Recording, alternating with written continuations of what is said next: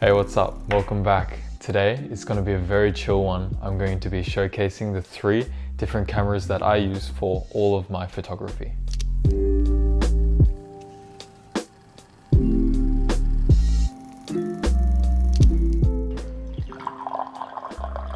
Alright, um, just quickly before we get into the video, I want to say thank you very much for all of the support with this YouTube channel so far. If you're subscribed to my channel, then thank you very much. If you're not, then what are you waiting for? Subscribe to my channel, why not? Since I've made this channel, there's actually quite a few new people subscribed, so hi to all of you. My name is Tats. I am a photographer based in Sydney, Australia and I've been shooting pics for a very long time, but recently I've sold all my gear and bought three new cameras, which I'm going to showcase to you today. So, my camera bag. I don't actually have a camera bag, and I use this sometimes just to store all the things if I'm bringing a few things along to like a trip. But yeah, let me show you the cameras that I am using.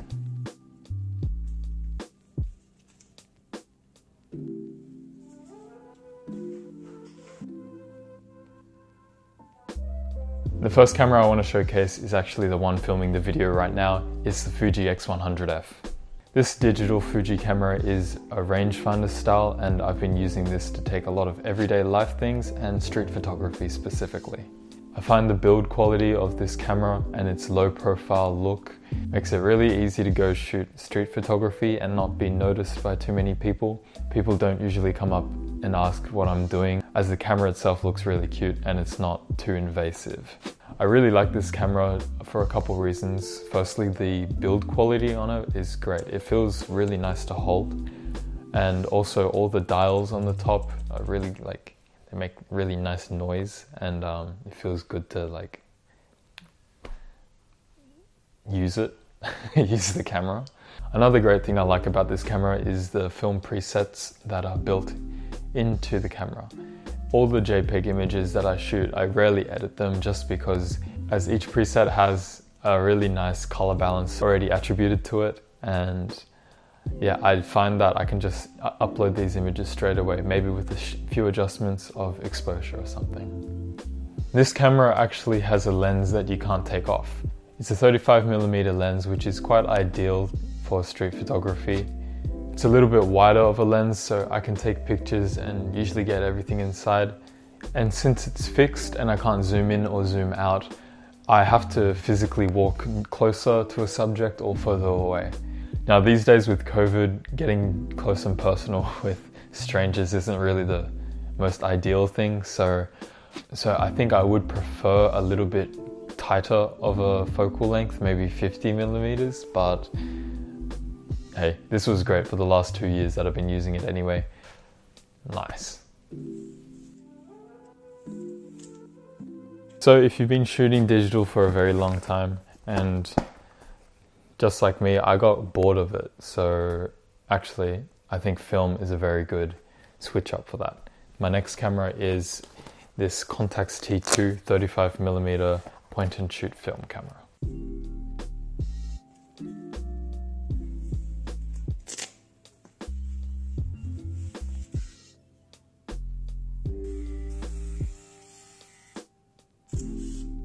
The Contax T2 is a small point and shoot camera that uses 35mm film. Among all of the point and shoots, I guess this is one of the more pricier versions, but with that comes a very solid build quality and a great sharp lens. I've actually made a video expressing my feelings about this camera already. If you want to check it out, please do. It's an awesome camera. I've been using this to take pictures of uh, personal things as well as some street photography.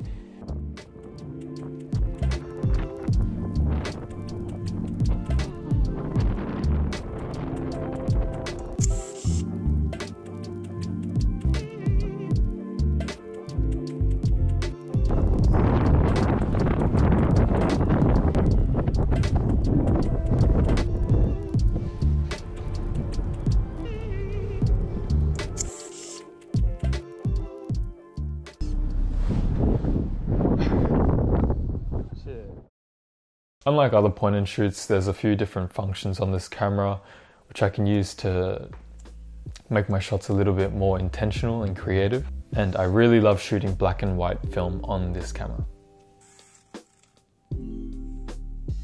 Okay, my final camera is also my most recent purchase.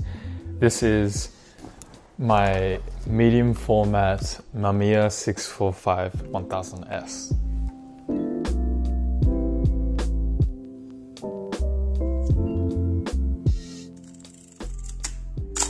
So firstly, this camera is a bit chunkier than my other two. It's definitely not low profile, looks super retro and it's a little bit heavier than my other two cameras. But this has a very specific reason of why I purchased it and it is for portrait photography. I should mention that this is a medium format film camera, which is different to the smaller 35mm format. As you can see, medium format also known as 120 film, is a lot larger than 35mm film, and actually it comes in a variety of different formats within itself. My camera is a 6x45, there's a 6x6, a 6x7, and etc. So this one is actually the smallest of all of the medium formats, which means that the image quality isn't as good as a 6x7. However, I do get more photos per roll with this camera. Um, in the future, I might upgrade to a bigger camera system, but for now, this is doing me just fine. Like I said, I purchased this camera for portrait photography specifically. The lens that I have on this camera is an 80mm f2.8. This allows me to create a lot of subject separation, where I can get a subject in focus and completely blur out the background. The image quality of the pictures I've taken with this are actually incredible. I've never shot with something so detailed. Cool.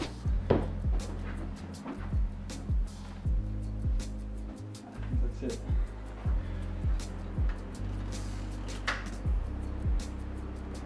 Three, two, one.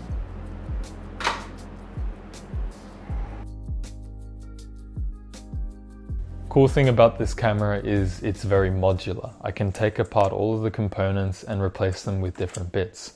I am thinking of getting a new lens in the future, maybe something a little wider, so I can take some landscapes as well. And you can also switch out the viewfinder on the top. A difficulty that I am getting accustomed to with this camera is actually looking down through this viewfinder. Everything is flipped. So if I tilt my camera to the left, it shows that image but in reverse. So it's a bit disorienting. Also the focusing system on this camera is completely new to me, so still getting used to that as well. But once I do get used to all of these things, I will definitely make a video on this camera specifically and my thoughts about it.